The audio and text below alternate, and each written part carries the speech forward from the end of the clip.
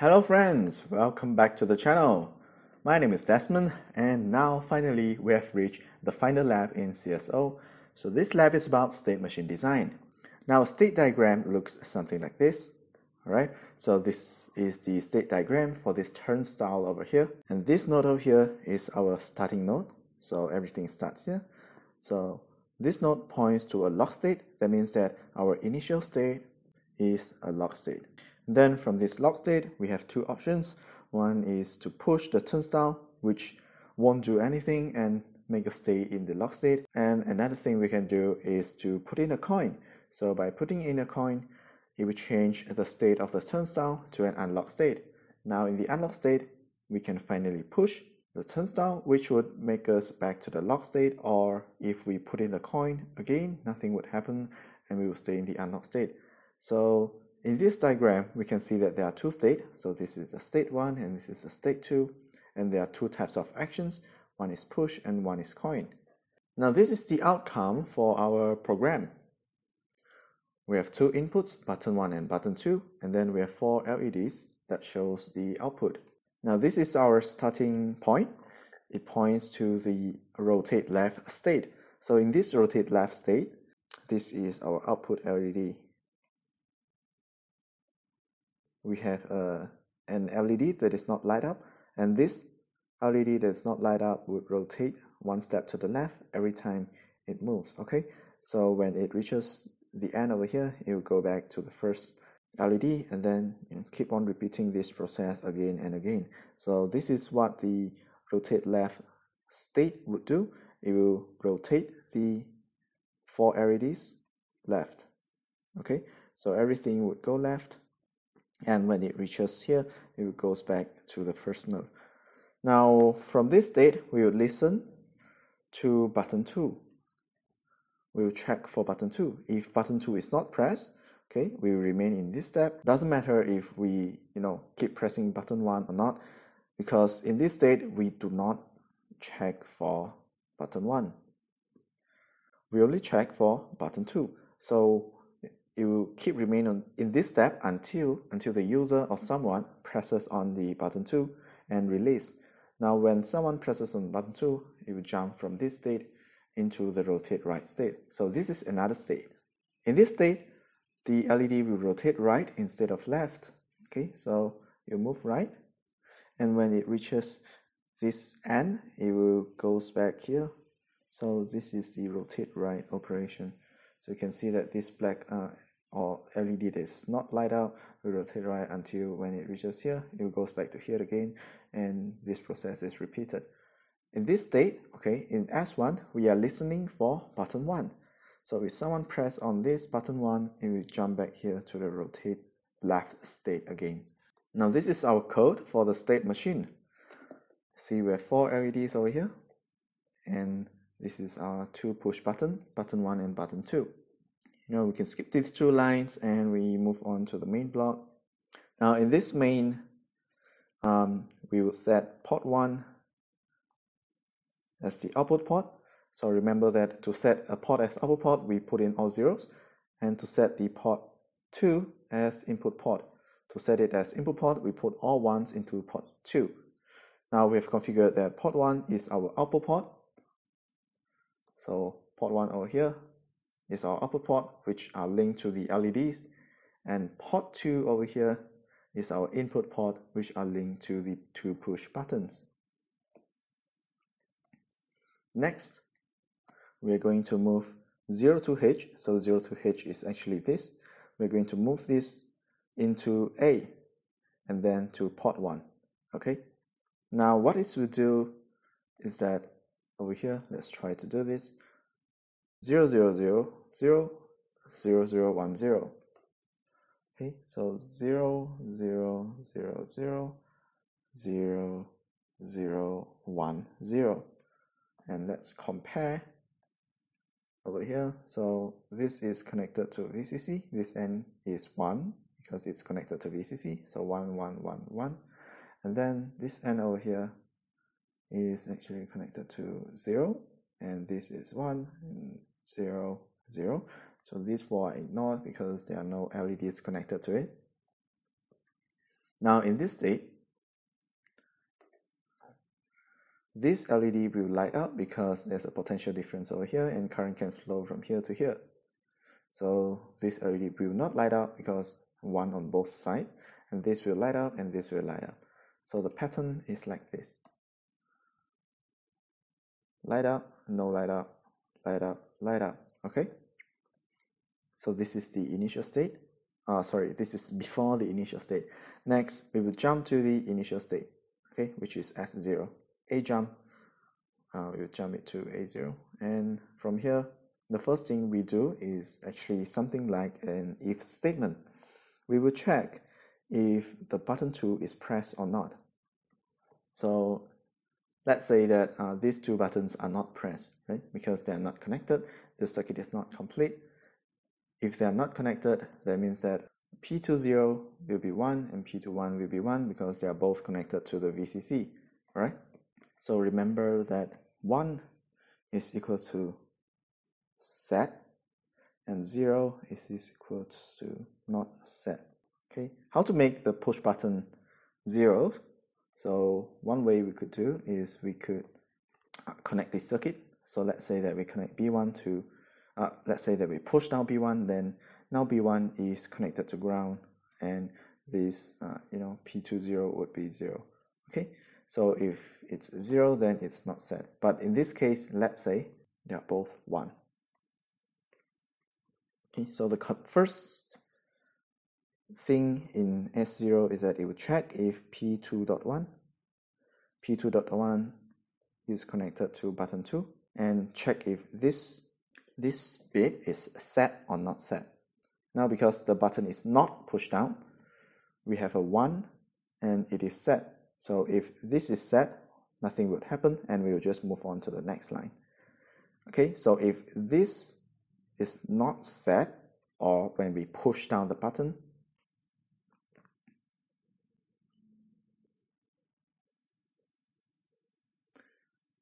then it will jump to state 1. But for now, let's say that it is uh, the buttons are not pushed down, both the buttons are not pushed down, so both of the state for P2.1 and P2.0 are set. So in this case, we'll move on to the next line and we'll move A into port 1, which actually we have previously did. Now A is equals to, uh, the port 1 is equals to 0, 0, 0, 0, 0, 0, 1, 0 which is uh, you know this thing over here.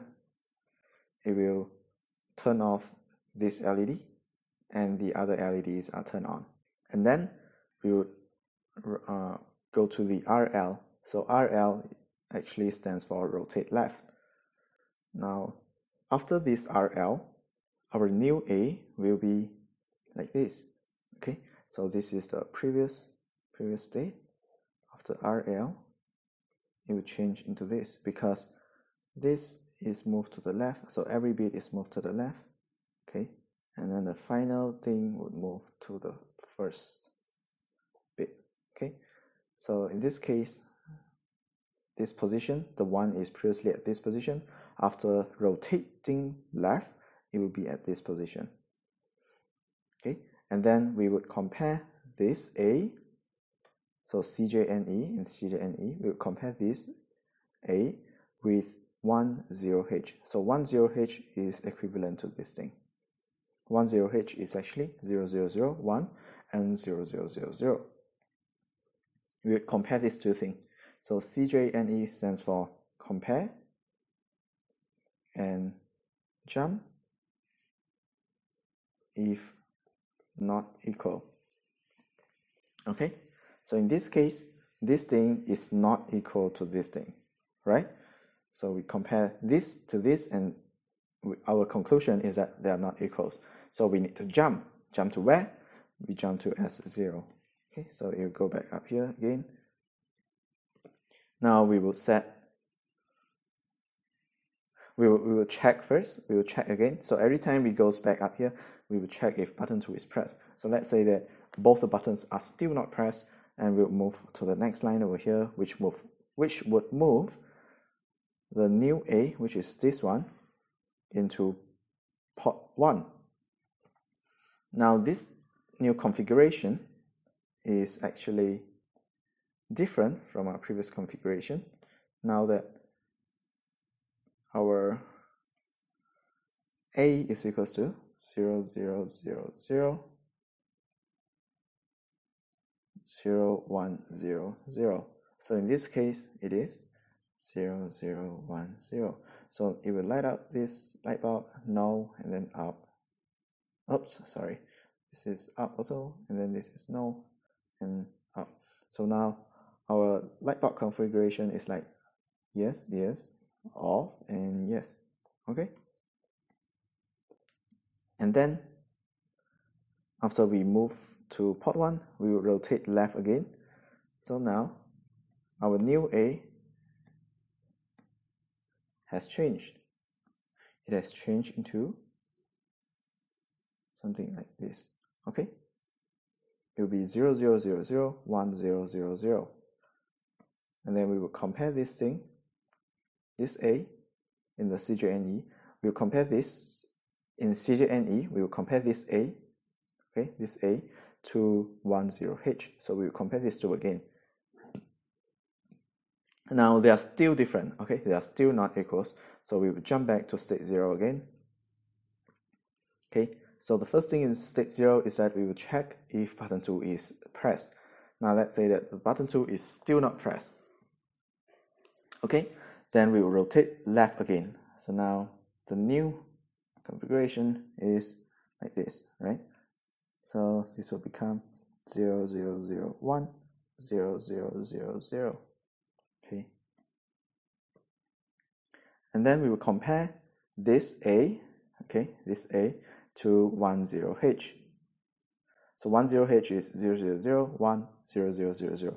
So now finally they are equals. So there will be no jumping.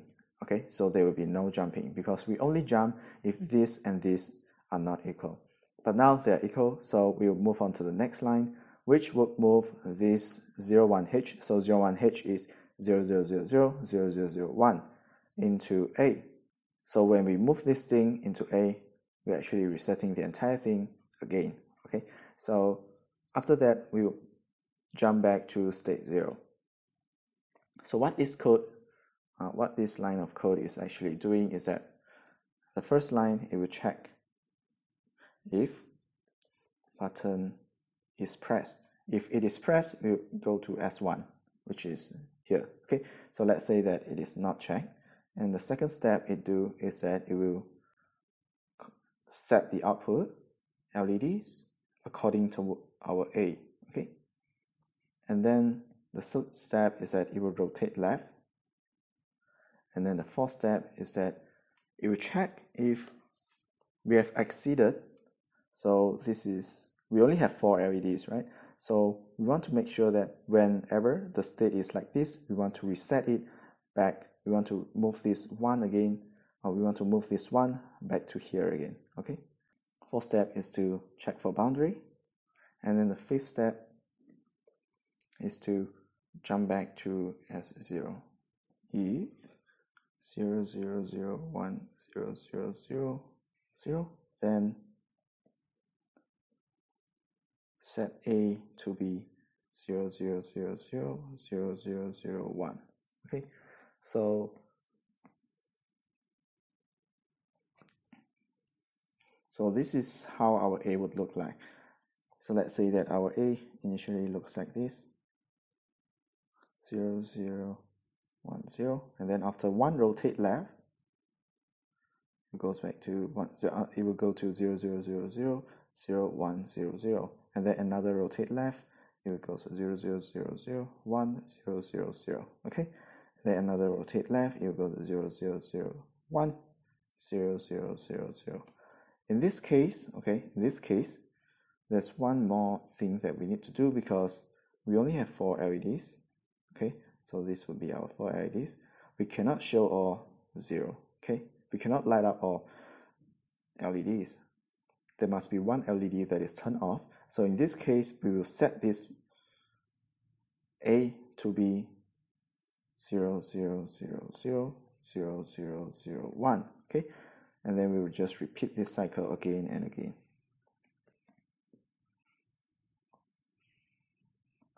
So what these two lines of code is doing is actually checking if it has reached, the one has reached over here. If yes, then we will reset the one to be at this position again. So we just, you know, keep, we want to keep this one in this for, for bits, okay? Now, let's say that finally someone presses on button 2. When someone presses on button 2, we would jump to state 1, which is over here. So in state 1, we check for another button, all right? So previously we checked for button 2, now we check for button 1. And a different thing is that instead of rotating left, we are now rotating right. So RR is rotating right. Previously we are rotating left, so RL. Now rotating right is just, you know, this direction. Okay, so instead of instead of this thing over here, we are going to do this 0, 0, 0, 0. So let's say 0, 0, 1, 0. So let's say we start from this state, and then after one rotate right, will be 0, 0, 0, 0, 0, 0, 0, 1. Okay. After another rotate right, because it has reached the end, so it goes back to here. Okay, 1, 0, 0, 0, 0, 0, 0, 0. Okay, see. Now, these four zeros occur again, so we cannot make this, cannot let this happen. So this is what uh, these two lines over here is doing. It's checking if A is equals to 80H. So 80H is actually, oops, sorry, one more zero over here. 80H is actually 10000000. If this is equals, then we would move, you know, we would reset A to be this. Okay, we will reset A to be this which means that we would reset to be 0, 0, 0, 0, 1, 0, 0, 0. Okay? We reset A to, to that state. Okay? 0, 0, 0, 0, 1, 0, 0, 0. Okay? This state over here and then we you know we continue the loop move right again 0 0 0 0 0 1 0 0 and then move right again then we are actually uh, in this loop. So this is our rotate right? Okay so after everything you know we just keep looping for s1 and then every time before we run uh, before we rotate right, we would actually check if and if someone has pressed on button one. Okay, so it's like this. When we are rotating right, we are checking if anyone press on button one. If no, we just keep on rotating right on the LEDs. So we can see that this is, let's say t equals 1, t equals 2, and so on we just keep on rotating right until someone presses on the button 1. When someone presses on button 1, we are resetting this to 0. And when this is 0, it is not set. Okay, so when this P2.0 is not set, we will jump, right? Because JNB is actually, JNB actually stands for jump if bit not set. So now P 2.0 is not set, we will jump back to you know, state 0. Okay, and then we will rotate left. So this is the state machine that you are going to build. At first, we go to state 0 and then keep staying in this state 0. Every time before we rotate left, we will check if the button 2 is pressed. Okay, If button 2 is pressed, we will jump to another state, rotate right. And the program running in this state until someone presses on button one and then we change to this state again and then we just rotate left, rotate left, rotate left and then someone presses on button two, we jump to this state, rotate right, rotate right, rotate right. And then wait for someone to press on button one and jump back to uh, this state zero again. Okay, so it can be a little bit complicated and it builds on previous lab that we have done. So there are commands like jump if bit not set and compare and jump if not equals. All right. Uh, so let me give you some assignment tips. So uh, as far as I know, your assignment is to build a pedestrian crossing line. Okay. So this is your question, right? With one button input. So in your program, you should only have one button input, one push button, and the system will be in stop state until a button is pressed. So stop. Initially, okay, initially you should be in the stop state until the, a button is pressed. Button press, and then after a delay, it will go to go state. So after this button press, you should actually go to a delay before you go to go state. Okay, because it works like most pedestrian lights, where when you press the button, it does not change the the traffic light to go state directly, right? In this uh, go state, you will stay longer, longer delay. After the long delay, you transit back to the stop state. We are not actually checking for anything here. So after some time, it directly goes back to stop state without checking if uh, you know any button is pressed or not. So you just need to program this part. So uh, whenever you see a question, the first step is to think in terms of the inputs and output. So the input over here is just one button, okay, one push button, and then the output you have a stop state and go state. So let's say that we we use a red LED to represent the stop state and the green LED to represent the go state. So in this case, you will have two output and after you are clear about what kind of input and output that you are dealing with, you should at least uh, you know draw out a state diagram like this to visualize. Uh, you should visualize in your mind uh, what kind of program that you are going to build. What is the outcome of the program that you are going to build? After that, you should think uh, about the program in step two. Now in step two, there's one thing over here, so delay. So you should implement the delay subroutine, right? So in the previous labs, we have shown about the delay subroutine. So the delay subroutine would keep the program running, counting down. If you remember, it will keep counting down two, uh, two registers until 00000 before it moves back to the original program. Now, I can think of two implementations here because there's a short delay and a long delay. So there are two types of delay that you need to code out. One is short and the other one is long. For the short delay, you can just you know use the normal delay. And for the long delay, there are two implementation. One, the first implementation is to design another uh, delay subroutine. So you know in the delay subroutine, there's something like this, right? Move R1 FF. Okay, so you could actually change this FF value. So FF is all ones, right? You can actually change this to something else. Let's say you change it to 05 and if you change it to 05, then the delay subroutine would run faster. So it will be a shorter delay. So you can design, uh, you know, delay 1, maybe delay A and delay B.